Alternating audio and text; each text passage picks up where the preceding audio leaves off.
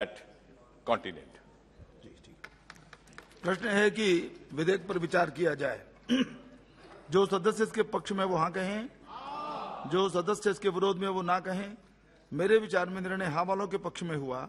हाँ वालों के पक्ष में हुआ। विधेयक पर विचार करने हेतु प्रस्ताव को स्वीकृत किया गया। अब सभा विधेयक पर खंडवार विचार करेगी।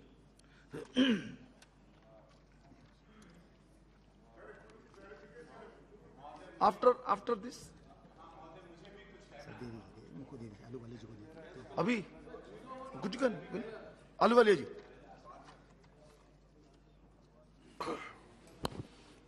सर, अंटार्कटिका एक वर्जिन लैंड है। और वहाँ पर बर्फ़ ही बर्फ़ है, और उसकी सतह बहुत मोटी है। उसके नीचे सारी चीज़ें हैं, और वो वर्जिन कैटेगरी में हैं। मंत्री महोदय ने कहा कि कोई इलीगल माइनिंग ना हो, उसके नीचे वर्जिन पॉली मेटेलिक नॉड्यूल्स हैं, कोबाल्ट है, निकल है, उसके साथ साथ गैस है। उसके नज़दीक ही नॉर्वे है। नॉर्वे आज की डेट में सबसे ज़्यादा ऑयल बेचता है और और और और उसके अगल बगल से ये सारा तेल और गैस निकलती है, क्रूड निकलता है। उसकी सतह के नीचे से ही निकल रहा है।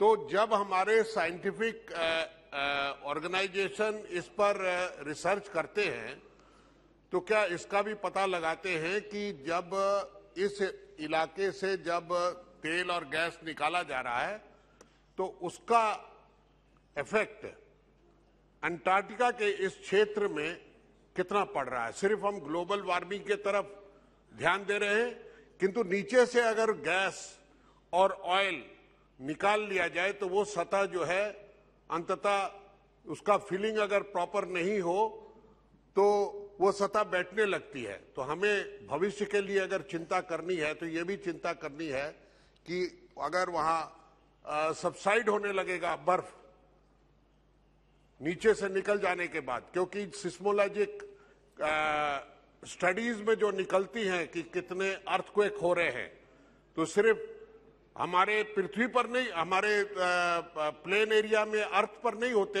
समुन्दर के अंदर भी होते हैं। और उसी तरह अर्थक्वेक अंटार्कटिका के नीचे भी होते हैं।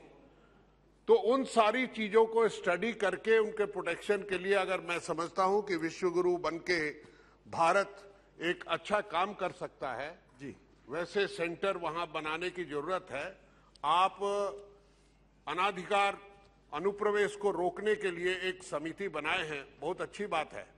किंतु इसमें कल को प्राइवेट ऑपरेटर्स और प्राइवेट प्लेयर्स अगर जाने लगेंगे तो शायद उतना अंकुश नहीं लग सकेगा क्योंकि उसका कमर्शियल एक्सप्लॉयटेशन करने की बात ज़्यादा बढ़ेगी। इन चीज़ों को ध्यान में रखते हुए मैं चाहूँगा कि मंत्री महोदय कोई हमें इस पर रोशनी डालेंगे।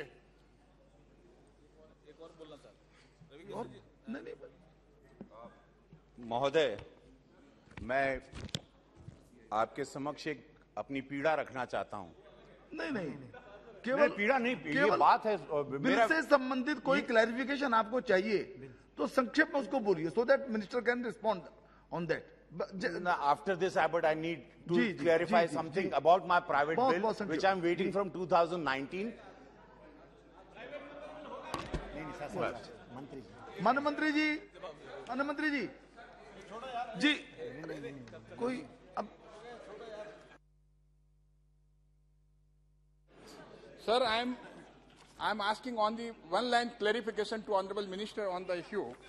This, uh, the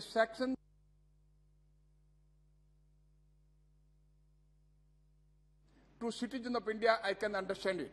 But it will also apply to citizen of any other country as well as any vessel or aircraft registered outside India. Madam So on the jurisdiction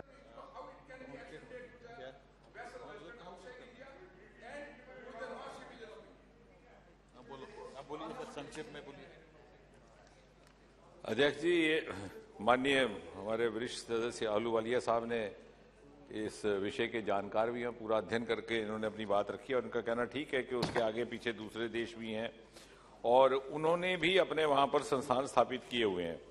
अब जैसे उदाहरण के तौर पर नॉर्वे है तो नॉर्वे केवल 100 kilometre दूर हमारी लेबोरेटरीज जो हमारे संस्थान है, उनका संस्थान भी है। और ये ट्रीटी भी इसीलिए इसकी कल्पना की गई थी कि कोई भी देश इस प्रकार की लालसा में या प्रवृत्ति में ना आए कि जैसे कोई ऑयलिंग की एक्टिविटी करनी है, कि माइनिंग की एक्टिविटी करनी है, एक साझा, एक समझौता इस बात को लेकर के हो।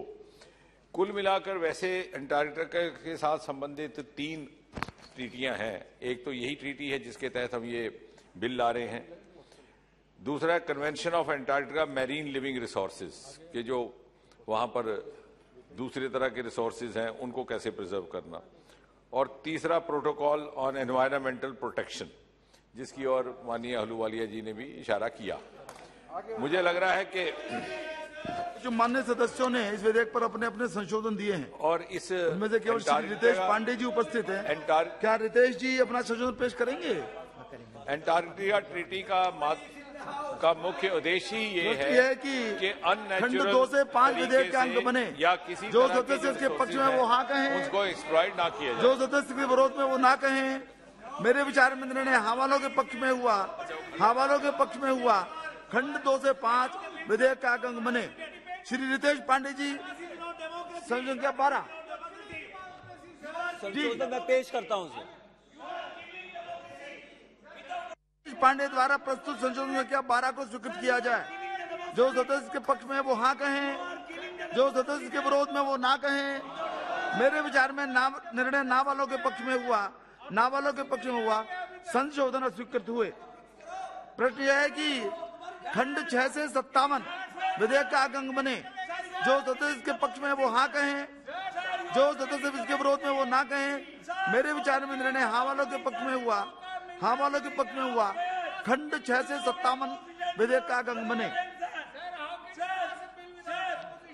प्रश्न है कि खंड एक अधिनियम सूत्र, उद्देशिका और विधेयक का पूरा नाम विधेयक का अंग बने। जो सदस्य इसके पक्ष में वो हाँ कहें, जो सदस्य इसके विरोध में वो ना कहें, मेरे विचार में निर्णय हाँ वालों के पक्ष में हुआ। हाँ वालों के पक्ष में हुआ। खंड एक अधिनियम सूत्र, उद्देशिका और विधेयक का पूरा नाम विधेयक के अंग बने। अब मंत्री जी प्रस्ताव करें कि विधेयक को पारित किया जाए।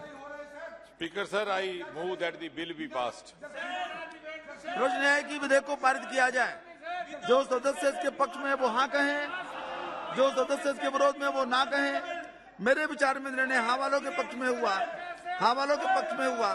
प्रस्ताव स्वीकृत हुआ और विधेयक आप प्लीज़ बैठ जाइए। देखिए आपको पूरा अवसर दिया। नहीं अधीर जी कल कल केवल आपकी अनुपस्थिति के कारण से।